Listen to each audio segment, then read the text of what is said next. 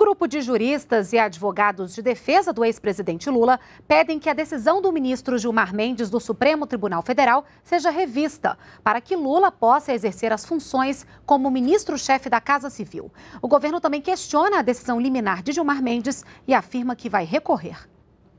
No último domingo, seis juristas brasileiros e os advogados do ex-presidente Lula impetraram habeas corpus no Supremo Tribunal Federal contra a decisão do ministro Gilmar Mendes, que suspendeu a nomeação do ex-presidente para o cargo de ministro-chefe da Casa Civil.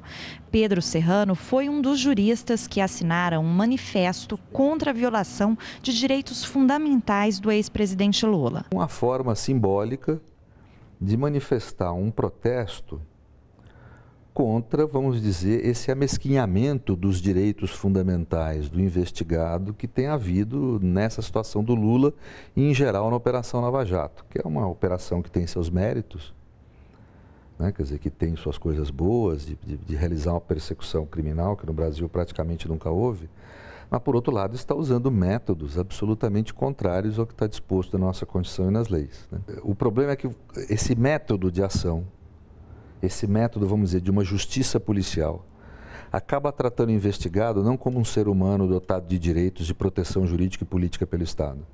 Acaba tratando o investigado como inimigo, ou seja, um ser humano que não tem direito ao exercício dos direitos mínimos que a condição humana lhe oferece. Né? Então, por exemplo, não tem direito à intimidade. Você viu, por exemplo, no caso do Lula, como foram divulgados vamos dizer, grampos de conversas íntimas da família, que nem tem nada a ver com a investigação, quando a lei manda destruir esse tipo de, de grampo né, e não divulgar.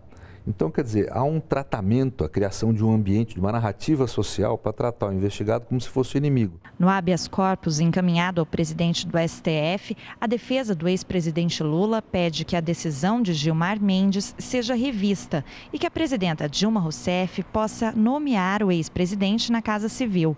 O ministro da Advocacia Geral da União, José Eduardo Cardoso, também questionou a liminar. No dia de hoje, nós estamos impetrando um mandado de segurança contra a decisão do ministro Gilmar Mendes, em que estamos fazendo todo um conjunto de ponderações que nos mostra que eh, essa liminar eh, não pode deixar de ser revista pela nossa Suprema Corte.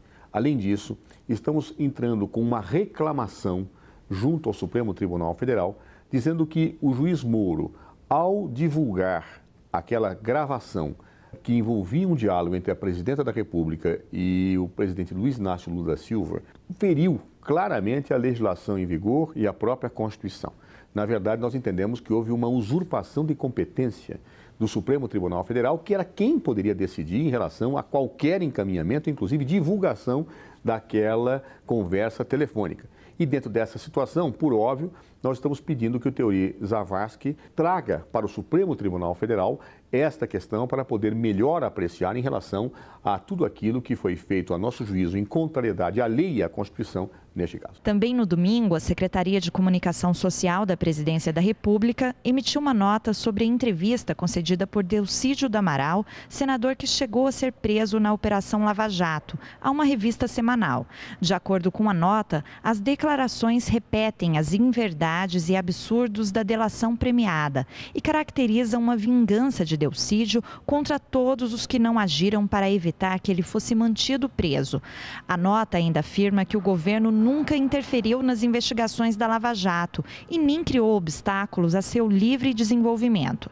Ao final, a Secretaria de Comunicação afirma que a presidenta Dilma Rousseff determinou que sejam tomadas todas as medidas judiciais cabíveis contra Delcídio do Amaral, para que ele seja responsabilizado na forma da lei por todas as suas declarações caluniosas e difamatórias.